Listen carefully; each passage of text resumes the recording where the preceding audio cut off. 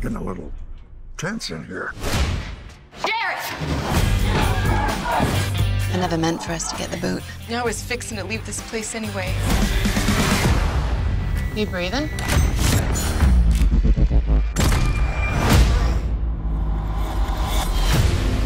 I am obliged. I have a bounty hunter that's been dogging me.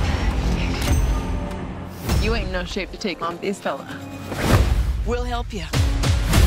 For half the bounty. Just my luck.